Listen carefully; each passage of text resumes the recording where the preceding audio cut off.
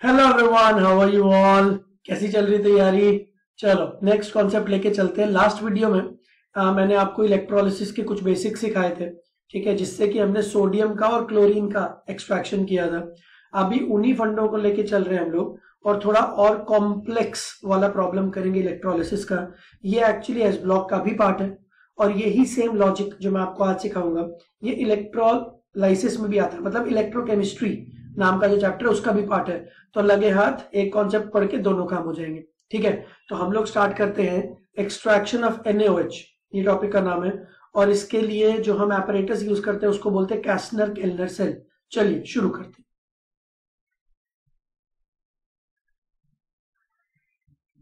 Castner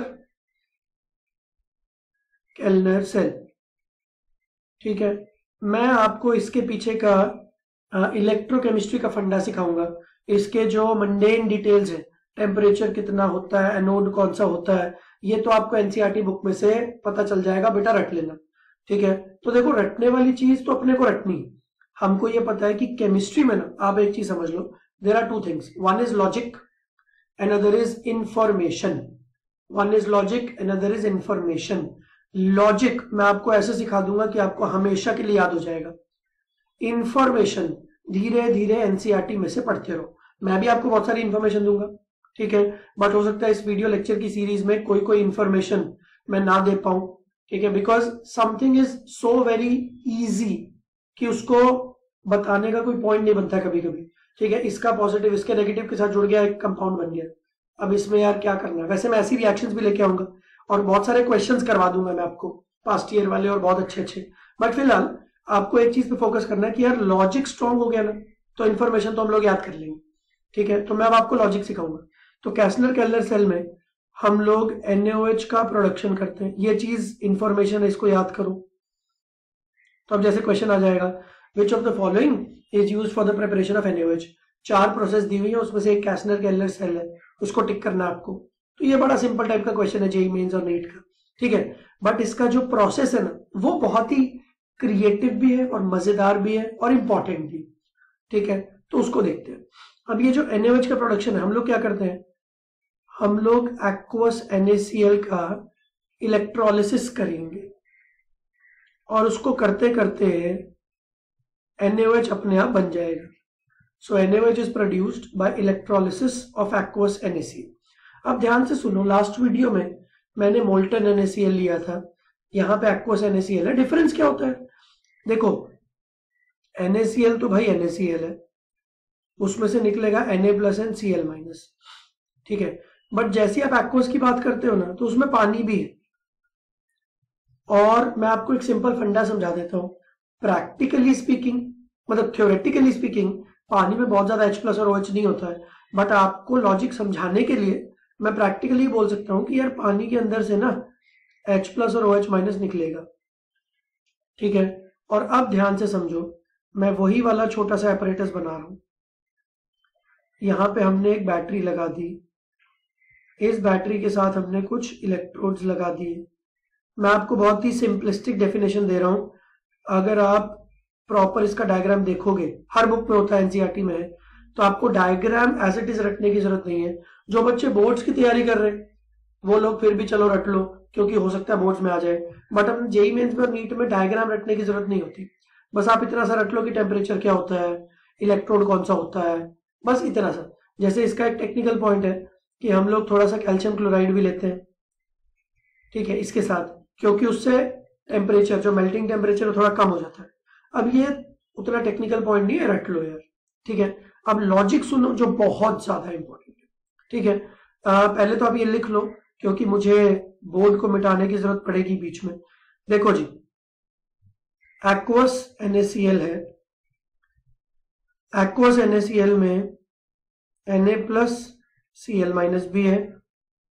H plus O H minus B battery का role क्या है, वो तो हमको पता ही है। बैटरी का काम होता है इलेक्ट्रॉन्स को इधर से खींचना और उधर देना। ठीक है? तो ये हो गया positive side of the battery ये हो गया negative side of the battery हमने जैसे लास्ट वीडियो में देखा था, इस वीडियो में भी बिल्कुल सेम है। ये एनोड है हमारा। एनोड वो होता है जिसपे ऑक्सीडेशन होती है। तो ये दोनों लोग सी एल माइनस और ओ एच माइनस अपना इलेक्ट्रॉन देने के लिए एनोड पे जाएँगे। और Na प्लस और H प्लस ये दोनों लोग इलेक्ट्रॉन लेने के लिए कैथोड पे जाएँगे। तो कैथोड पे क्या होते हैं जी? इलेक्ट्रॉन्स मिलते हैं। रिडक्शन होता है। ठीक है? तो जहाँ पे इलेक्ट्रॉन्स मिलते हैं, वहाँ पे वही लोग जाएँगे ना जिनको इलेक्ट्रॉन चाहिए। और जहाँ पे इलेक्ट्रॉन्स देने होते हैं, वहाँ पे वही लोग जाएँगे जिनके पास इलेक्ट्रॉन्स एक्स्ट्रा है। मैं आपको एक सिंपल एग्जांपल देता हूँ।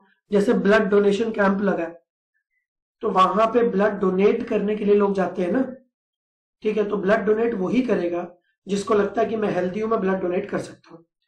तो अब जहाँ पे इलेक्ट्रॉन्स को रिलीज़ करना है तो वही आदमी वहाँ पे जाएगा जिसको लगता है कि मेरे पास काफ़ी इलेक्ट्रॉन्स है। तो यहाँ पे दो स्पीशीज ऐसी हैं, जिनके पास काफ़ी इलेक्ट्रॉन्स है। एक तो है सी एल माइनस एक है ओ एच माइनस दोनों के ऊपर नेगेटिव चार्ज है। नेगेटिव चार्ज का मतलब क्या होता है? एक्सेस ऑफ़ इलेक्ट्रॉन्स तो जिनके पास एक्सेस ऑफ़ इलेक्ट्रॉन्स है, वो देंगे।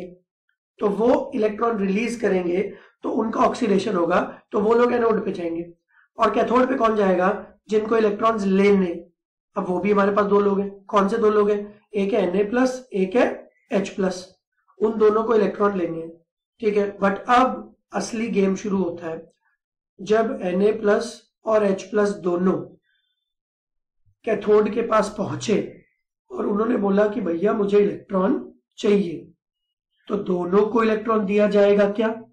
या किसी एक को दिया जाएगा? और अगर किसी एक को दिया जाएगा तो क्या लॉजिक से दिया जाएगा?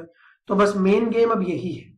ठीक है? तो आप जल्दी से, यहाँ पे जो भी लिखा है, उसको जल्दी से लिख लो, फिर मैं आगे बढ़ता हूँ। अब ध्यान से सुनो। इसको बोलते कंपटीशन ठीक है? बिल्कुल आपके एग्ज़ाम में भी ऐसा ही है कि बच्चे कितने भी पढ़ने में अच्छे हों बट सीट्स लिमिटेड है। तो सीट्स किन बच्चों को दी जाएँगी, उनमें कंपटीशन है।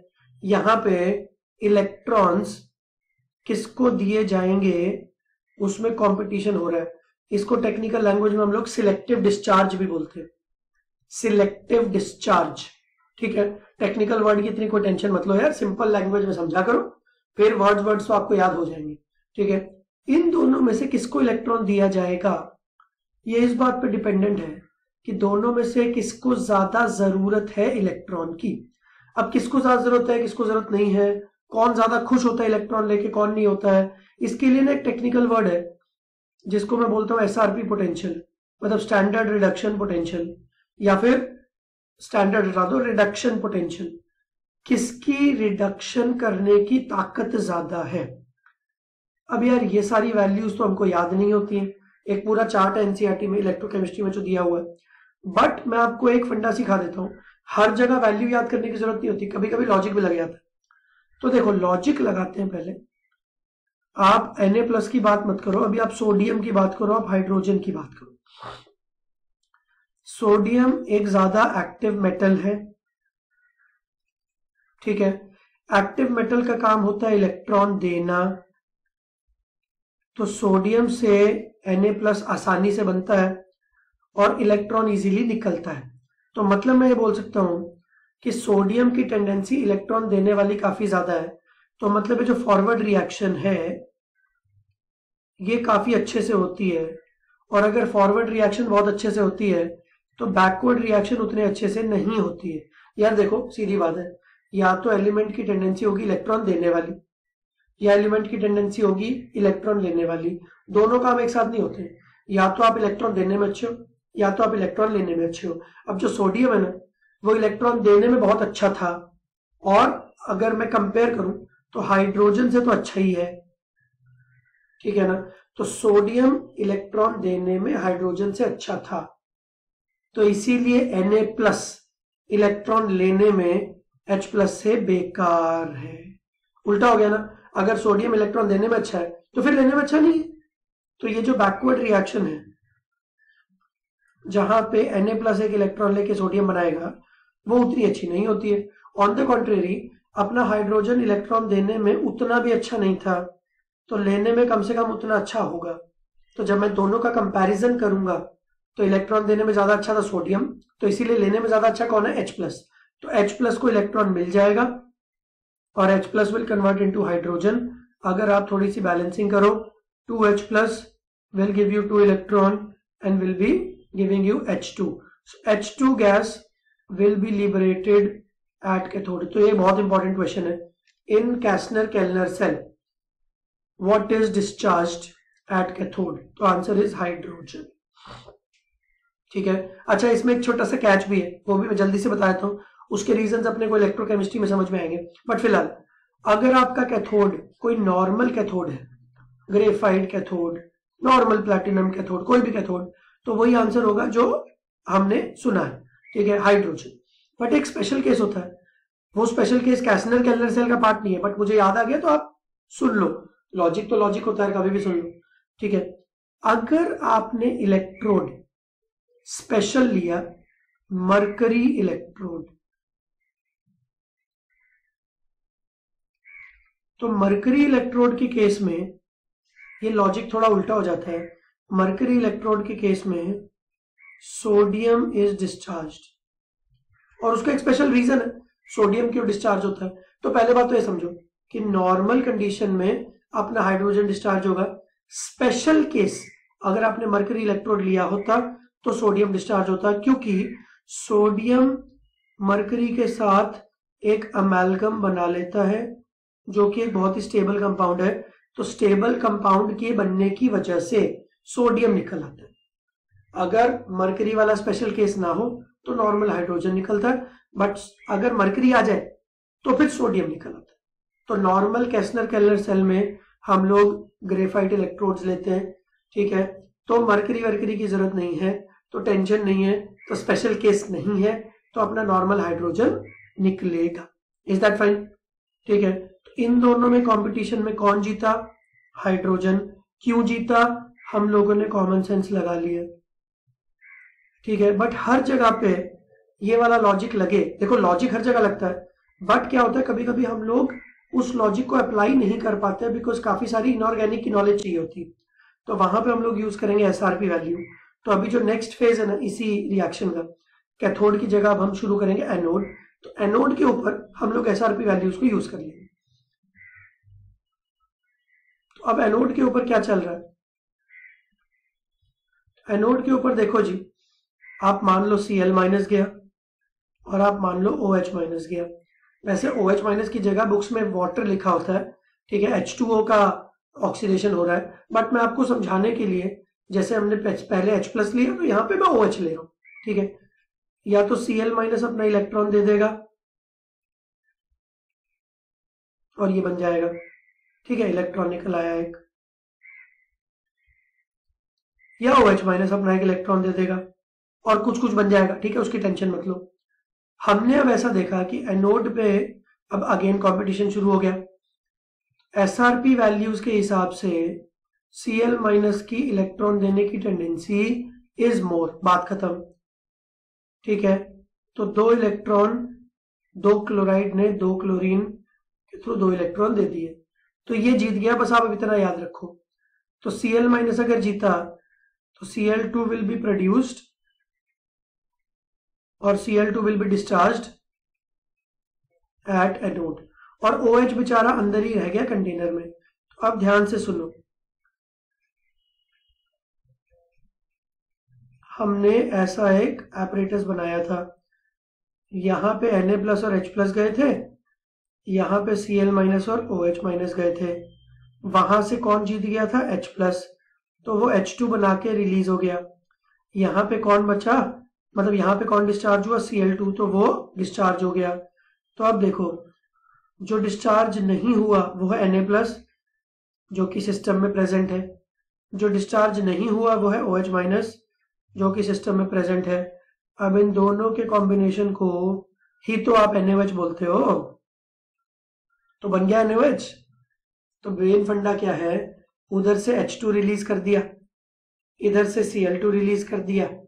तो इधर ओ OH बच गया, उधर Na प्लस बच गया। Na प्लस और ओ OH अगर दोनों ही एक सिस्टम में प्रेजेंट है तो उसी को NaOH बोलते हैं ना? तो NaOH का प्रोडक्शन हो गया राइट अभी इसमें बहुत टेक्निकल डिटेल्स है कि वोल्टेज क्या लेना है, कितने टाइम के लिए लेना है एक्वस NaCl की कॉन्सेंट्रेशन क्या होनी चाहिए, ये सारी डिटेल्स इंडस्ट्री में काम आती हैं।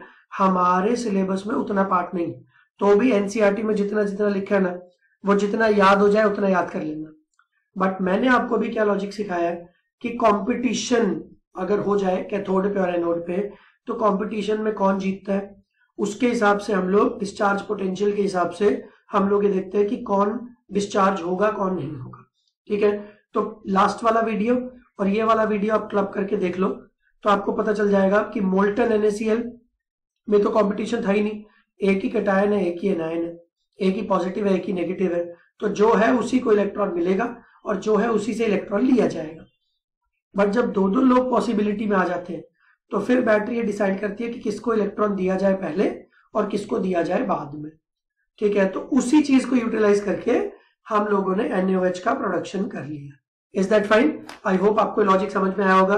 अगर कोई भी वीडियो आपको ऐसा लगता है ना जो नहीं समझ में आ रहा या थोड़ा भारी हो गया तो यार रिपीट कर लो रिवाइज कर लो। मतलब थोड़ा पीछे ले जाओ और वीडियो को वापस प्ले कर लो यार। तो मेन बात वही है कि नोट्स बनाते रहो। काफ़ी टेक्निकल कॉन्सेप्ट में आपको बताऊँगा, ठीक है? और मेरा पर्पज भी ये है कि 10 से 15 मिनट का मतलब बहुत लंबे लंबे वीडियोस ना हो। एक एक घंटे के वीडियोस बना के ना बच्चे बोर हो जाते हैं। पर अगर कोई भी चीज़ आपको नहीं समझ में आ रही है वीडियो को बार बार रिवाइंड करके देखो और फिर भी अगर कोई पर्टिकुलर पॉइंट आपको नहीं समझ में आता है वीडियो के अंदर तो आप मुझे टाइम टाइम बता दो कि सर ग्यारह बज के मतलब ग्यारह मिनट और बाईस सेकेंड पे आपने जो कॉन्सेप्ट एक्सप्लेन किया ना वो वाला कॉन्सेप्ट मुझे समझ में नहीं आया। तो मैं नेक्स्ट आने वाले वीडियोस में उस पर्टिकुलर पॉइंट को केटर कर दूँगा डोंट वरी ठीक है? तो हम लोग इसको जितना पॉसिबल इंटरक्शन रख सकते हैं ना, उतना रखेंगे। तो आप अपना काम करो और आपका काम क्या है? नोट्स अच्छे से बनाना। और मैं आपके लिए अच्छे अच्छे वीडियोस लेके आता रहूँगा। ठीक है? चलो टेक केयर बाय बाय